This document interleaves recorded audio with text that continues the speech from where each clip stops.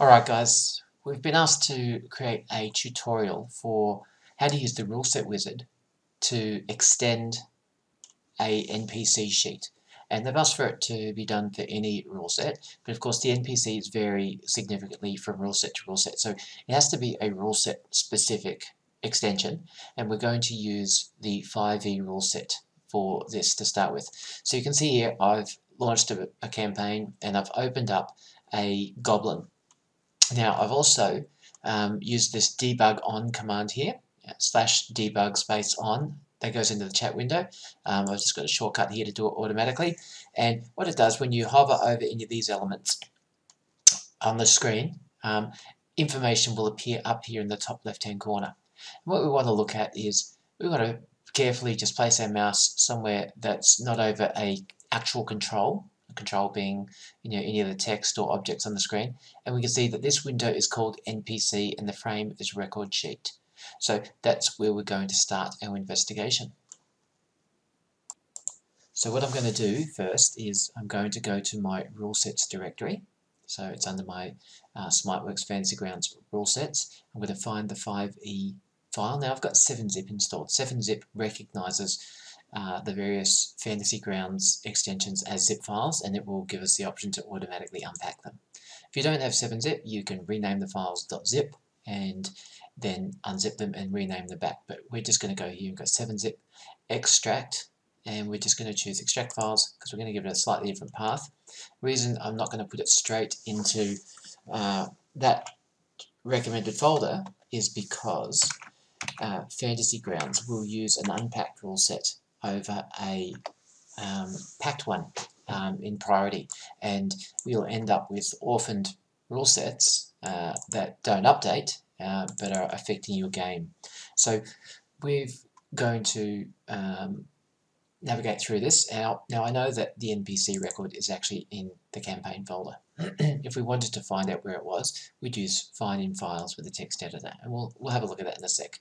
But we've got 5e campaign, and we're going for the record NPC.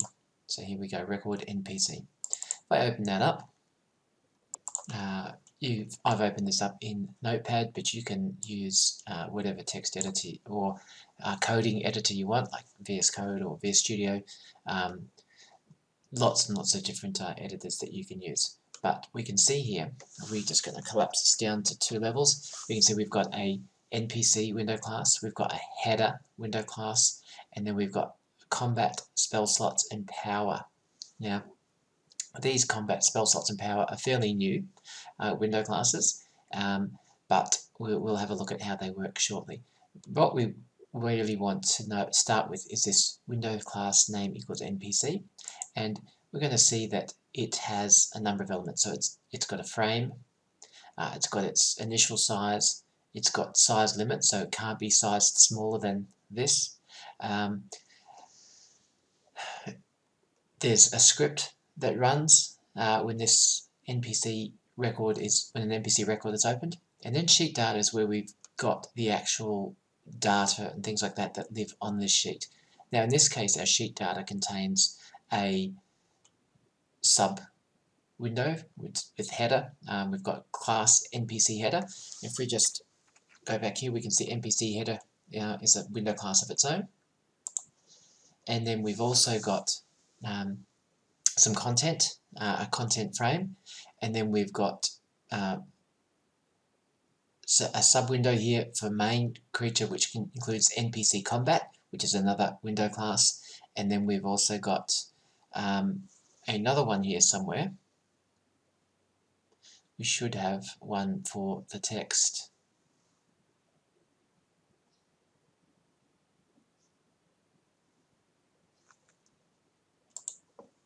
Alright, it looks like um, that this uh, window class may be using um, the text. No, we've got one here called text.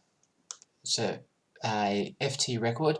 Um, this is a template, we'll look at that in a second, um, but FT record name text, and we can see we've got our tabs. Our tab definition has got two tabs, so we've got the icon. So the text on tabs is not text, it's actually a graphic uh, written uh, vertically. So tab main is an icon and tab other is an icon.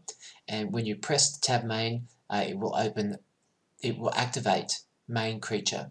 And main creature uh, is this sub window.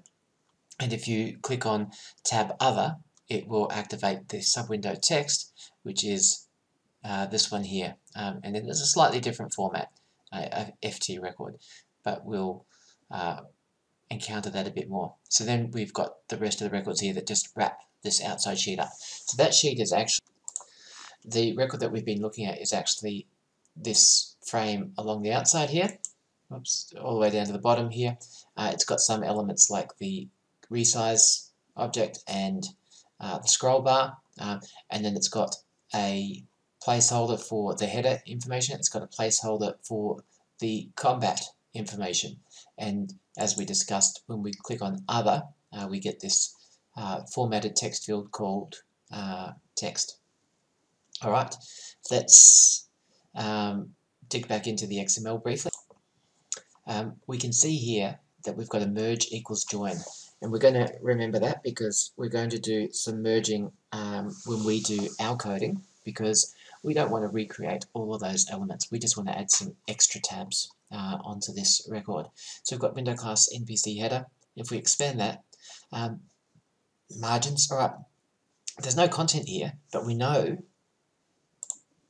that we've actually got uh, a stack of content. We've got a link, we've got a name, we've got a, a, lock icon, we've got an ID icon, we've got a token, we've got a speech bubble, and we've got a close record. So there's a whole bunch of stuff here, but it doesn't appear in that record. As you can see, it's pretty empty. So what that means is that this is probably in the rule set that this is layered upon, which is Core RPG. So let's go check that out. Back to our rule sets folder. Let's find Core RPG. And Core RPG is here. Going to do the same thing. We're going to unpack it. 7-zip. Uh, extract files.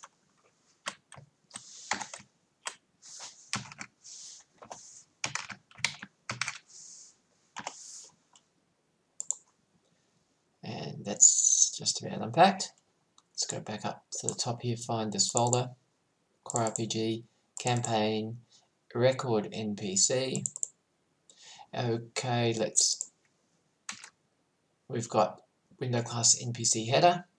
Alright, um, what is happening here?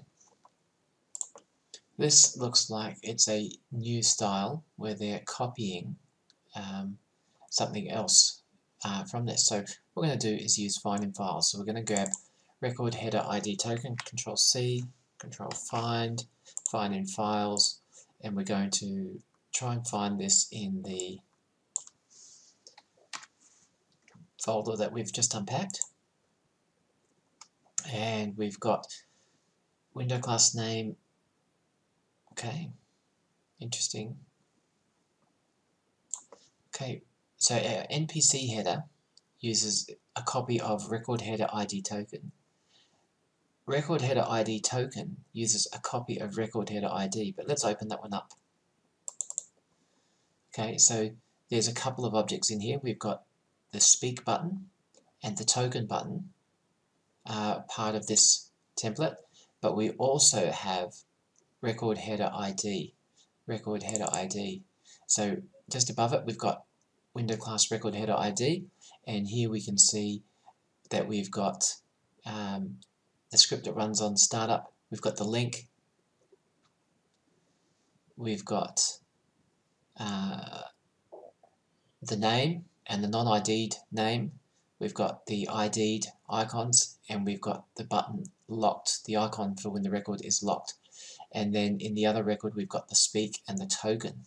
So between this template and this template, uh, we've got enough information to fill that record. So that's a, uh, some fairly new changes that SmiteWorks have been rolling out into the rule sets. Uh, in some ways, it um, takes a little bit longer to get used to and to find these records, um, but uh, using find in files, you can work your way back and, and track all of these things down. So let's go back into Fantasy Grounds, where we can see um, we've got an NPC record, we've got an NPC header record. The NPC header record is made up of two templates, one that supplies uh, the token and the chat, and the other record which contains the rest of the information, the link, the names, the lock records, the ID, and the close. Um, so on the next uh, video, we are going to start this up in our rule set wizard. Thanks very much.